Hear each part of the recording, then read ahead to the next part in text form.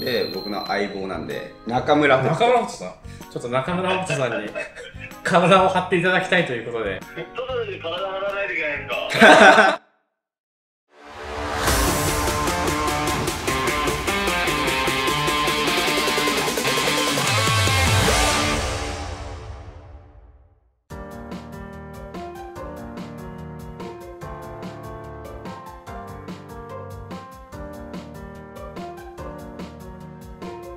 さっきさん、小俣さんって言ってたんで、まあまあお松さんは取んなきゃダメですね。だって監松さんは督が言うんだから監督が言ってるっていうのもあるんですけど、子供たちと一緒にやるってなった時に、小俣さんいてくれないと僕たちも困るんですよ。間違いない。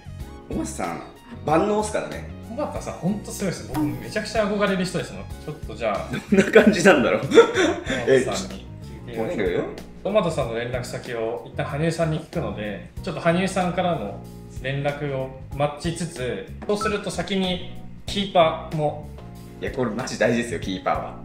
だから僕たちがどんなミスをして体を張るのを失敗した失敗しても小俣さんが子供たちと交流をしてくれてたとしても最後ここで止まればいいから。フットサルのゴールってそもそもめちゃくちゃちっちゃいんですよね。ちっちゃいですちっちゃいです。でかい人。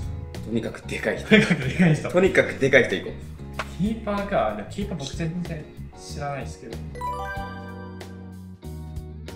あこれしかいないっていう話になっちゃうういたわ。いました。やってくれるかわかんないけどいました。抜群なのいいますわ。山根さん山根さんってそもそも身長何センチなんですか？187センチです。佐野さん何センチですか？67です。20センチあんま言わないで サッカーって身長じゃないけどキーパーは身長大事ですからね。やめさんいい人だしな。あの人の後ろからの指示だったら羽生さんの言葉より僕聞くかもしれないです。そしたらもう監督いらない。じゃあ次山根絵里奈さん。あもしもしプロトライズの高木です。お疲れ様です。あお疲れ様です。ご無沙汰しております。ちょっと急に今あの川野弘樹さんと今お昼を一緒に食べていてはいちょっと山根さんの名前が上がったのでお電話させていただいたんですけどはい担当直入に言うとですねはい。プロトライズのフットサルチームのゴールキーパーをやっていただけないかというご相談なんですけどもえっとそれはゴールの大きさはどれぐらいですか？あのゴールの大きさは山根さんの多分頭ぐらいの高さと手を横に広げたら多分届くぐらいの大きさな気がします。だから1点も入んないです。山根さんがいたら全勝です。無理です。今結構メンバーいいんすよでもいや今あれなんですよ一緒にちょっと活動いただいているプロトライズではい。結構ガチめのフットサルチームを作っていろんな会社のフットサルチームと対決したりとか子供たちと一緒になんかフットサル企画とかやっていきたいなと思っていて監督が決まって羽生直武さん 山根さん監督にしました羽生さんをであとメンバーは僕とあと川野弘樹さんとはい。あと中村北斗さはい。んに加入いただくとこまで決まってるんですがはい。あとちょっとキーパーとディフェンスを1人ずつまだ集めないと最低限の人数が集まらなくてなるほどですね。ちょっとプロトライズのあのプロフィール表を見ていたら山根さんしかいないと思って。山根さん山根さんお願いします。ます。お願いします。